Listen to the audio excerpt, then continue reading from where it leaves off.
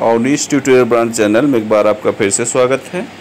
देखिए, हम लोग जो है बाल मनोविज्ञान सी की श्रृंखला को लेकर आगे बढ़ रहे हैं। और जिसमें आज की टॉपिक है वर्तमान भारतीय समाज एवं भारतीय शिक्षा, प्रारंभिक शिक्षा। ठीक है? वर्तमान भारतीय समाज एवं प्रारंभिक शिक्षा। पिछले वीडियो में आप शिक्षण कौशल को पढ़े थे। आज की टॉपिक आपके सामने है। और बहुत ही महत्वपूर्ण होने वाला है वीडियो, क्योंकि आधुनिक शिक्षा से भी जो है क्वेश्चन रहते हैं। तो चलिए, आज की शुरुआत करते हैं। वीडियो यदि पसंद आए तो लाइक करना न भूलें, अपने दोस्तों को भी शेयर करें। चूँकि ये सी सभी के लिए अनिवार्य है, चाहे वो B T C D L Ed TET super TET R TET C TET कुछ भी कर रहा हो, सभी के लिए एक ही होता है। तो बहुत महत्वपूर्ण वीडियो है। चलिए, श्रृंखला को आगे बढ़ाते हैं।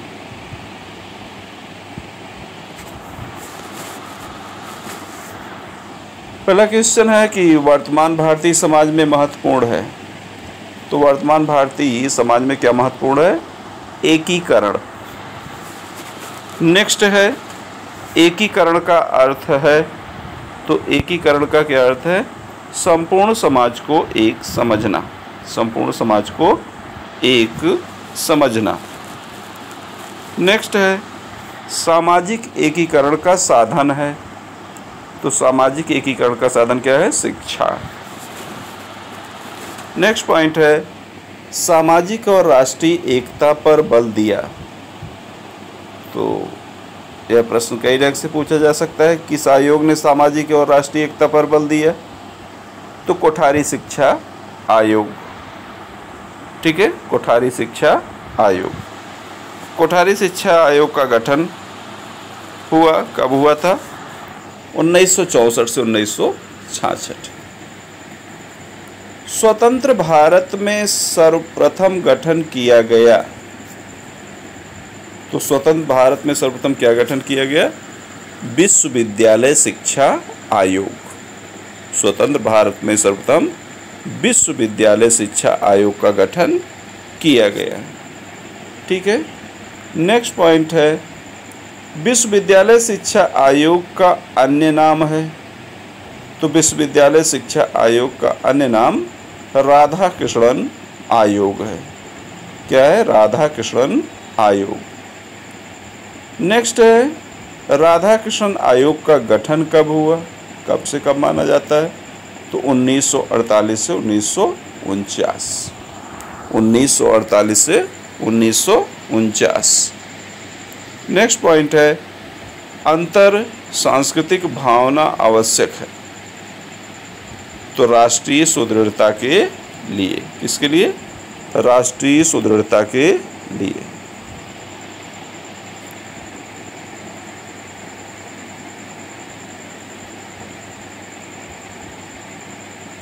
अगला पॉइंट देखते हैं।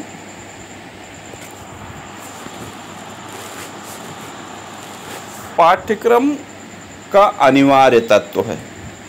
तो पाठ्यक्रम का अनिवार्य तत्व क्या है? समाज सेवा एवं राष्ट्र सेवा। समाज सेवा एवं राष्ट्र सेवा जो है, वो पाठ्यक्रम के अनिवार्य तत्व है। नेक्स्ट पॉइंट है, शिक्षा संस्थानों में आवश्यक है। तो शिक्षा संस्थानों में क्या आवश्यक है? शारीरिक शिक्षा। मीन शारीरिक शिक्षा का विषय जो है, वो शिक्षा संस्थाओं के लिए आवश्यक। नेक्स्ट पॉइंट है, बालकों की रुचि बढ़ी है। तो विद्यालय में, विद्यालय प्रक्रिया में बालकों की रुचि कहाँ बढ़ी है? स्काउटिंग एवं शारीरिक शिक्षण में। किसमें?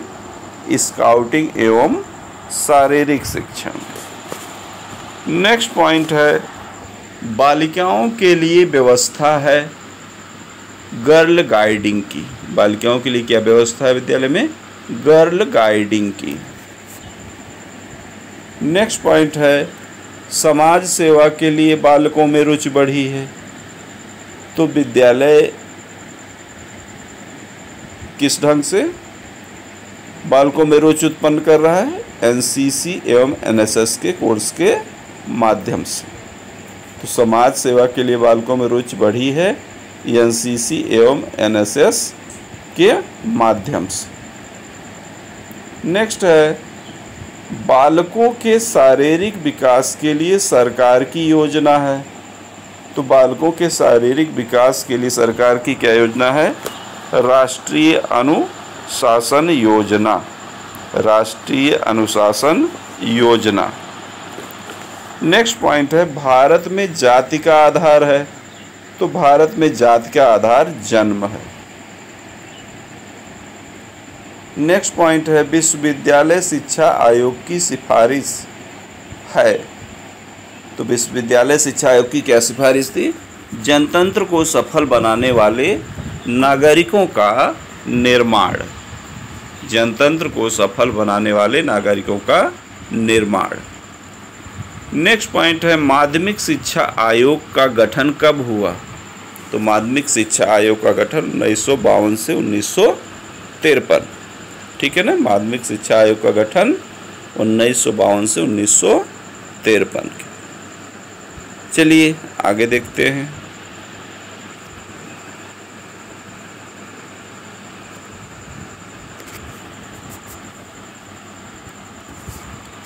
माध्यमिक शिक्षा आयोग का नाम है। तो माध्यमिक शिक्षा का नाम मुदालियर आयोग है। ठीक है ना? माध्यमिक शिक्षा आयोग का क्या नाम है? मुदालियर आयोग। नेक्स्ट पॉइंट है, मुदालियर आयोग के अध्यक्ष थे। तो मुदालियर आयोग के अध्यक्ष थे डॉक्टर लक्ष्मण स्वामी मुदालियर। डॉक्टर लक्ष्मण स्वामी मुदालियर।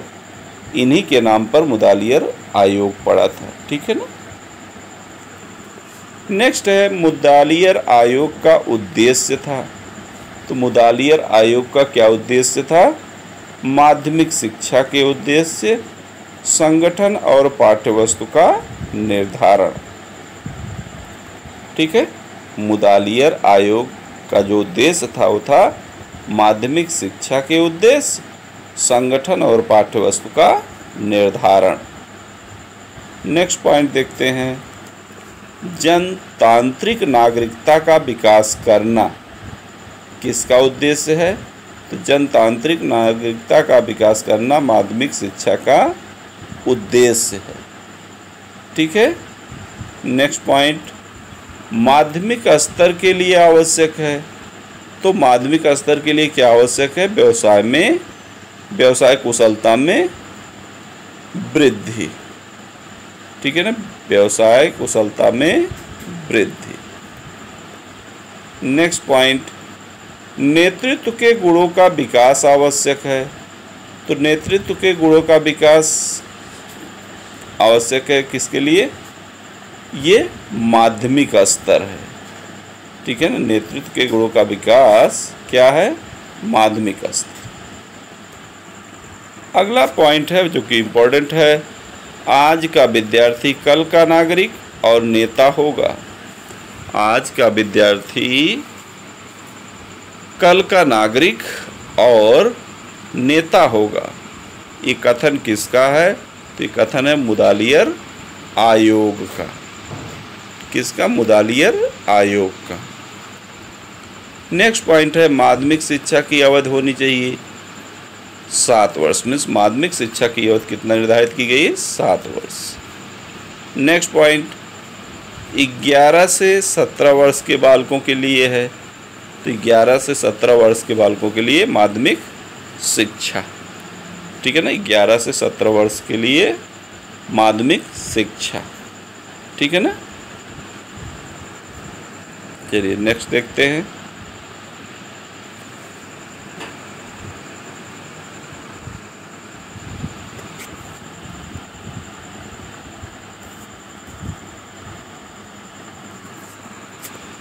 माध्यमिक शिक्षा पुनर्गठन समिति नियुक्त हुई।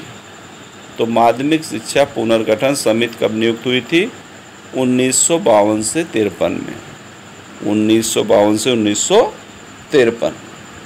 ठीक है? नेक्स्ट पॉइंट है, माध्यमिक शिक्षा पुनर्गठन समिति के अध्यक्ष थे। तो माध्यमिक शिक्षा पुनर्गठन समिति के अध्यक्ष कौन थे? आचार्य नरेंद्र देव। अगला पॉइंट है, कोठारी कमीशन का उद्देश्य है। तो कोठारी कमीशन का क्या उद्देश्य है? राष्ट्रीय समृद्धि एवं कल्याण। राष्ट्रीय समृद्धि समृद्धि एवं कल्याण, ये जो है, कोठारी कमीशन का उद्देश्य। अगला बहुत इंपॉर्टेंट है, शिक्षा का पंचमुखी कार्यक्रम है। तो शिक्षा का पंचमुखी कार्यक्रम कोठारी आयोग है। कौन है? कोठारी आयोग। अगला पॉइंट है, सामान्य स्कूल प्रणाली देन है। तो सामान्य स्कूल प्रणाली देन जो है, कोठारी आयोग की है। ठीक है ना? किसकी?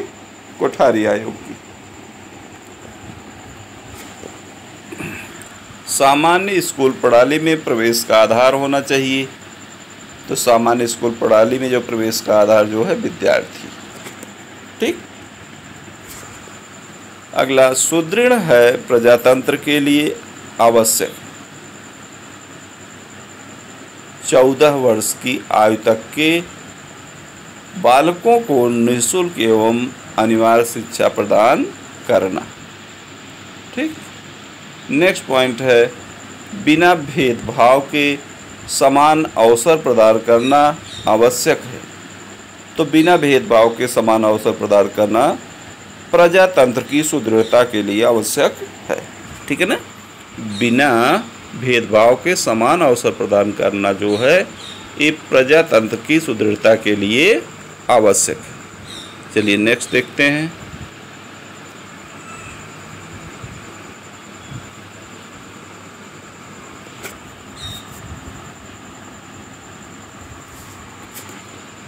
देखिए भाई, आज जो है इक्कीसवा वीडियो है। धीरे धीरे हम लोग जो है सीडीपी समापन की ओर बढ़ रहे हैं। हालाँकि अभी है, नहीं कि अभी दो चार छः वीडियो, सब वीडियो और जा सकते हैं। क्योंकि वीडियो बहुत लंबी नहीं खींचना चाहते। और जैसे जो चैनल पर नए हों तो पहली बात चैनल को भाई सब्सक्राइब कर लीजिए। दूसरी चीज़, आपकी सुविधा के लिए डिस्क्रिप्शन में प्लेलिस्ट की लिंक भी दे दी जाती है। आप चाहें तो डायरेक्ट लिंक के ज़रिए जो है, जितने वीडियो पड़े हैं, सभी वीडियो सीरियल से भी आप देख सकते हैं। ठीक है?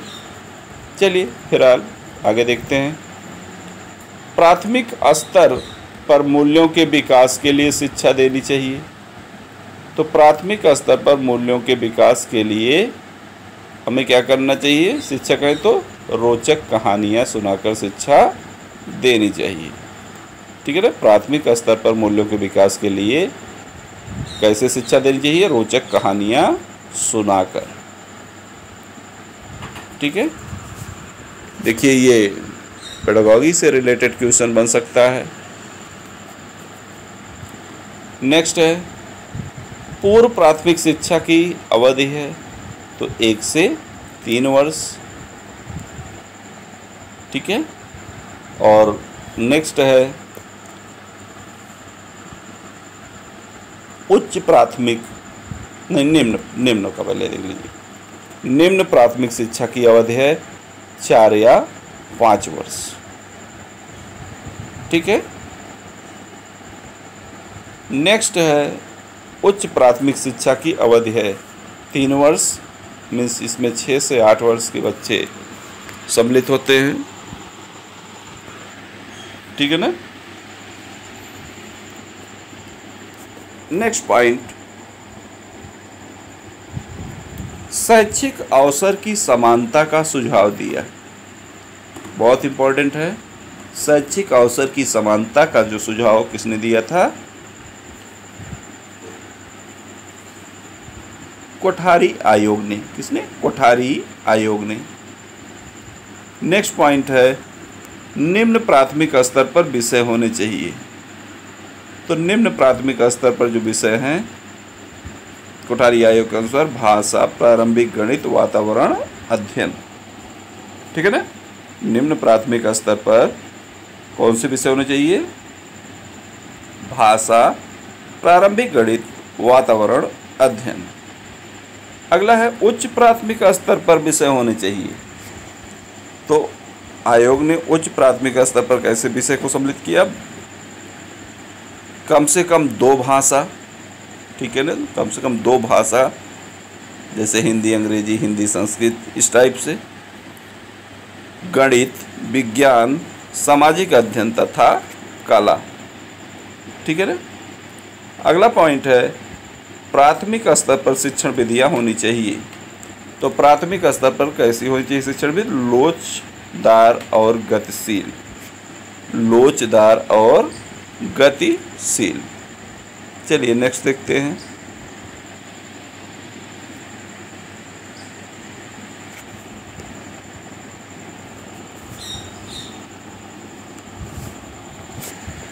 मुदालियर आयोग के अध्यक्ष किस विद्यालय के कुलपति थे?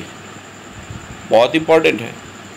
तो जो मुदालियर आयोग के अध्यक्ष थे, वो मद्रास विश्वविद्यालय के कुलपति भी थे। मुदालियर आयोग के अध्यक्ष मद्रास विश्वविद्यालय के कुलपति थे। ठीक है ना? नेक्स्ट देखते हैं। आचार्य नरेंद्र देव कमेटी की रिपोर्ट प्रस्तुत की गई। तो आचार्य नरेंद्र देव कमेटी की रिपोर्ट उन्नीस सौ तिरपन में प्रस्तुत की गई। नेक्स्ट है, उन्नीस सौ उनतालीस में आचार्य नरेंद्र देव कमेटी ने अपनी रिपोर्ट प्रस्तुत की तो प्राथमिक तथा माध्यमिक शिक्षा की। जो उनतालीस में इन्होंने रिपोर्ट प्रस्तुत किया, वो प्राथमिक तथा माध्यमिक शिक्षा की थी। नेक्स्ट पॉइंट है, भारतीय शिक्षा के क्षेत्र का इनसाइक्लोपीडिया कहते हैं। तो राष्ट्रीय शिक्षा आयोग को बहुत इंपॉर्टेंट है। इसको आप केयर करके माइंड में बसा लेंगे भाई। सॉरी भारतीय शिक्षा के क्षेत्र का इंसाइक्लोपीडिया क्या है? राष्ट्रीय शिक्षा आयोग।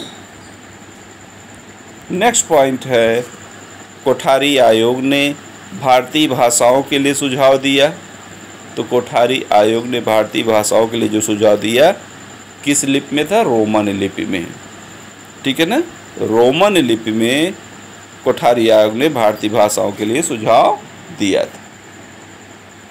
अगला है, नई दिल्ली में श्रीमती इंदिरा गांधी ने राज्यों के शिक्षा सम्मेलन में भाग लिया।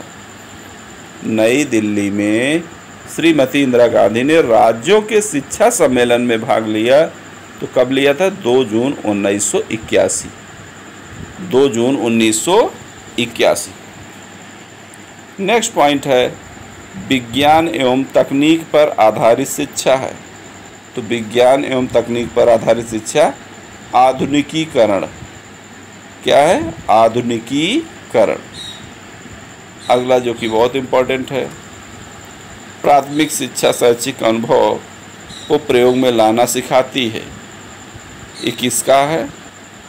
The handbook for teachers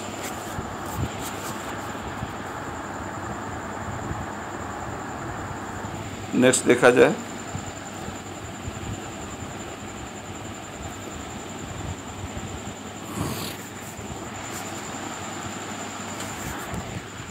प्राथमिक शिक्षा का इतिहास प्रारंभ है।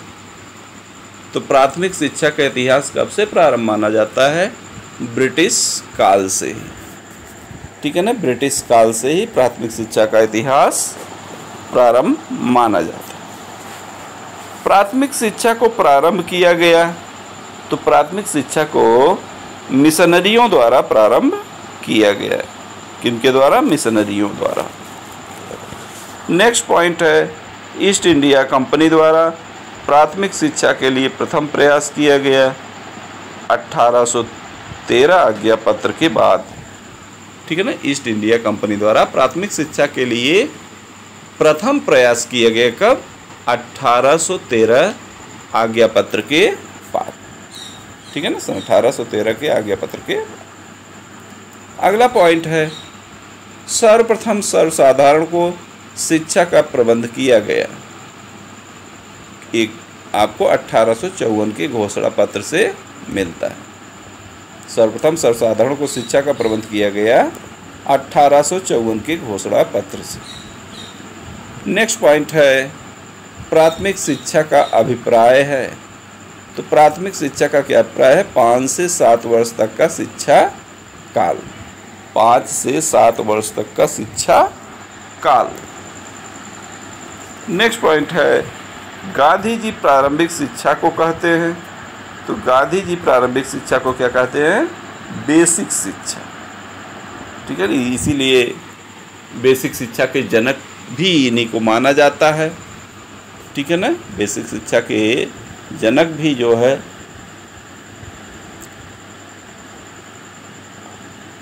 गांधी जी है, महात्मा गांधी। ठीक है?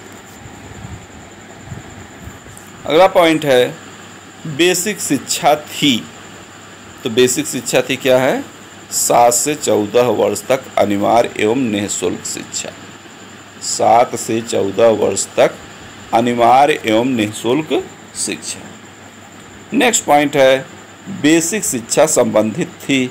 तो बेसिक शिक्षा किससे संबंधित थी? हस्तकला हस्तकला अगला बहुत इंपॉर्टेंट है गांधी जी की विचारधारा प्रभावित थी तो गांधी जी की विचारधारा आदर्शवाद से प्रभावित थी। गांधी जी की विचारधारा किससे प्रभावित थी? आदर्शवाद से। ठीक है? नेक्स्ट पॉइंट है, शिक्षा से मेरा तात्पर्य, बालक और मनुष्य की समस्त शारीरिक, मानसिक एवं आत्मिक शक्तियों का विकास करना है। किसका कथन है? फिर से सुन लीजिए। शिक्षा से मेरा तात्पर्य, बालक और मनुष्य की समस्त शारीरिक, मानसिक एवं आत्मिक शक्तियों का विकास करना है। ये किसका कथन है? महात्मा गांधी का। चलिए आगे देखते हैं।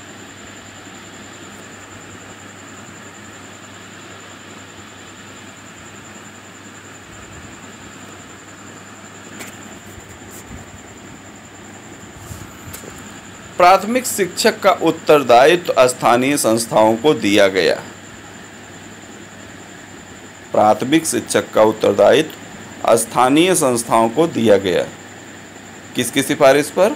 अट्ठारह भारतीय शिक्षा आयोग की सिफारिश पर। अट्ठारह में भारतीय शिक्षा आयोग की सिफारिश पर प्राथमिक शिक्षक का उत्तरदायित्व तो स्थानीय संस्थाओं को दे दिया गया। अगला पॉइंट है, बड़ौदा नरेश द्वारा अठारह में प्रयास किया गया। तो बड़ौदा नरेश द्वारा अठारह सौ बानवे में प्राथमिक शिक्षा के लिए, ठीक है, प्रयास किया गया। अगला है 1911 में केंद्रीय धारा सभा में एक विधेयक प्रस्तुत किया गया। 1911 में केंद्रीय धारा सभा में एक विधेयक प्रस्तुत किया गया किसके द्वारा? गोखले के द्वारा। अगला पॉइंट है, गोखले के विधेयक द्वारा सर्वप्रथम अनिवार्य शिक्षा अधिनियम पारित किया गया। गोखले ने जो विधेयक प्रस्तुत किया, उसके अनुसार गोखले के विधेयक द्वारा सर्वप्रथम अनिवार्य शिक्षा अधिनियम कहाँ से पारित हुआ? मुंबई में। ठीक है ना? मुंबई में। नेक्स्ट पॉइंट है, स्वशासन प्रारंभ हुआ तो स्वशासन 1921 स्वशासन का प्रारंभ हुआ 1921 नेक्स्ट पॉइंट है, सुशासन का उद्देश्य था। तो सुशासन का क्या उद्देश्य था? प्राथमिक शिक्षा को अनिवार्य बनाना। प्राथमिक शिक्षा को अनिवार्य बनाना। नेक्स्ट पॉइंट है संसद में अधिनियम पारित हुआ तो संसद में अधिनियम कब पारित हुआ था? दो दो हज़ार दो में। और नेक्स्ट पॉइंट है 2002 में संविधान संशोधन हुआ तो 2002 में जो संविधान संशोधन हुआ कौन था? संविधान संशोधन था छियासीवा, ठीक है ना? 86 नेक्स्ट है 2002 अधिनियम पारित हुआ तो 2002 अधिनियम किस लिए पारित हुआ था? प्राथमिक शिक्षा के लिए। ठीक है ना? मीन्स प्राथमिक शिक्षा के लिए 2002 अधिनियम पारित किया गया। चलिए आगे देखते हैं।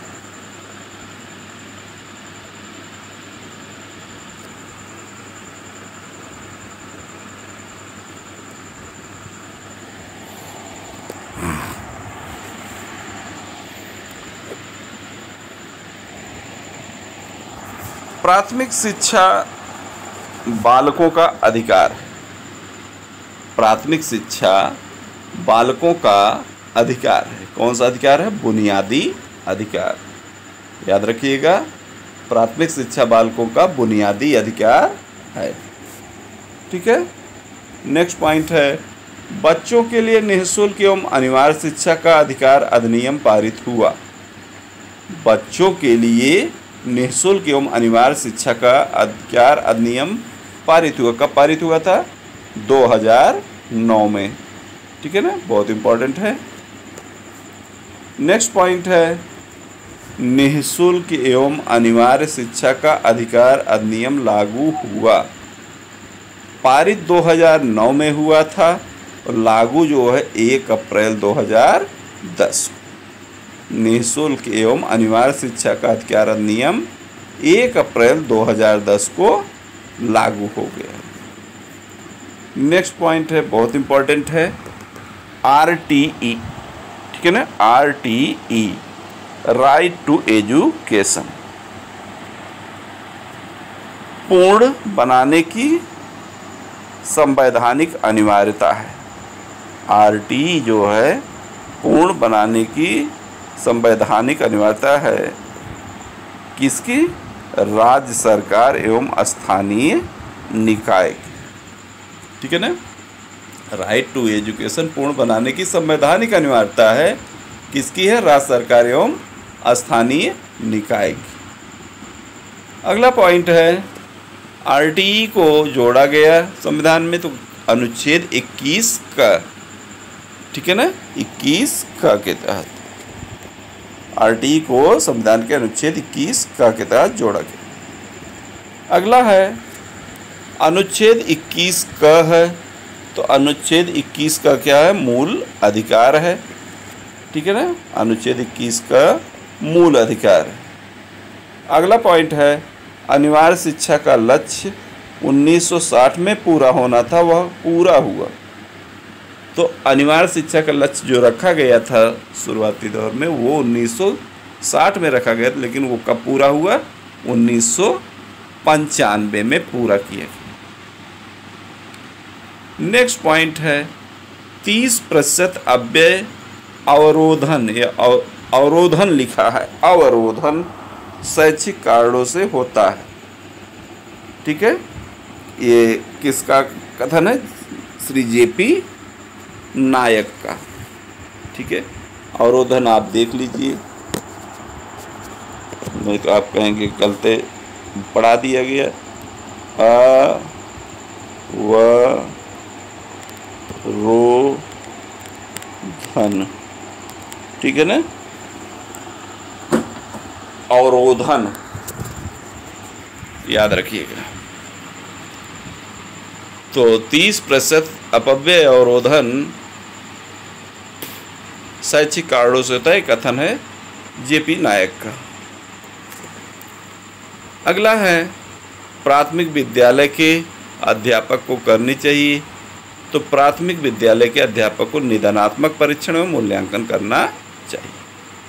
ठीक है ना? प्राथमिक विद्यालय के अध्यापक को निदानात्मक परीक्षण एवं मूल्यांकन करना चाहिए। बहुत इम्पोर्टेंट ठीक है? तो भाई चैनल पर नए हो तो प्लीज़ चैनल को सब्सक्राइब कर लीजिएगा। लाइक, शेयर, कमेंट करना ना भूलें। कोई प्रॉब्लम हो तो आप कमेंट करके पूछ भी सकते हैं। इसके अलावा आपको बता दें कि इस चैनल पर ये आपको सी नहीं, इसके अलावा भी आपको कम्पिटिटिव लेवल की सभी जानकारियाँ मिल जाएँगी। किसी भी वैकेंसी की न्यूज़ अपडेट भी आपको बराबर समय पर मिल जाएगी। चाहे वो यूपी ट्रिपल एस हो, चाहे सी टेट टेट शिक्षक संबंधी टीजीटी पीजीटी किसी की भी तो आपको समय समय पर सूचना देते रहते हैं। तो आज के लिए बस इतना ही। आज की टॉपिक जो है, पूरी इसी कंप्लीट की गई। ठीक है?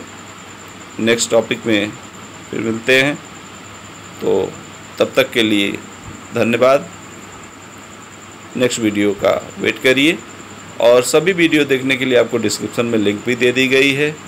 वहाँ से आप डायरेक्ट प्लेलिस्ट के ज़रिए, डिस्क्रिप्शन में जो प्लेलिस्ट की लिंक है, उसके ज़रिए आप सभी वीडियो एक तरफ़ से भी देख सकते हैं। ठीक है? चलिए, आज के लिए बस इतना ही। ठीक? धन्यवाद।